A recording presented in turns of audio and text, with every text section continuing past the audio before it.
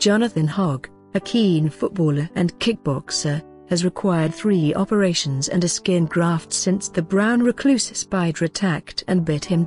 Within hours, the venom began to eat away at the 40-year-old's flesh. Doctors say he could have lost his leg had it been left untreated. Mr. Hogg, from North London, said, The pain was like nothing I've been through in my life.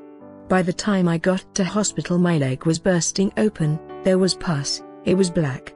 The barrister believes he was bitten while traveling on a Qatar Airways flight from Doha to South Africa, and is now taking legal action against the airline, alleging it has refused to take responsibility.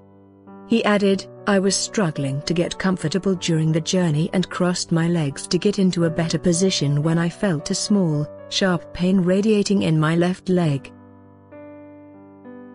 I turned on the light and clearly saw a spider running across the floor before hearing two stewardesses screaming spider, but I wasn't sure if I had been bitten as it really wasn't painful. A Qatar Airways spokesperson said, the only known interaction between the airline and Mr. Hogg regarding this incident, which he claims happened on a Qatar Airways aircraft in June, was via our website a week after his travel was complete. No report was filled with any staff on board regarding this incident. We have also not been advised of any legal proceedings regarding this incident. In the circumstances we cannot comment further but will, of course, investigate any further information which is brought to our attention formally.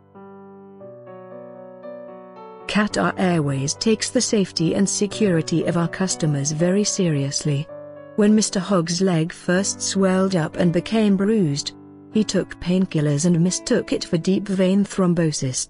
But the pain got worse a day later and his friends urged him to see a doctor, thinking it looked like a spider bite. He had taken five months off work for a once-in-a-lifetime holiday and the ordeal began shortly after he finished volunteering at an orangutan sanctuary in Borneo. He was traveling on to South Africa so he could dive with sharks.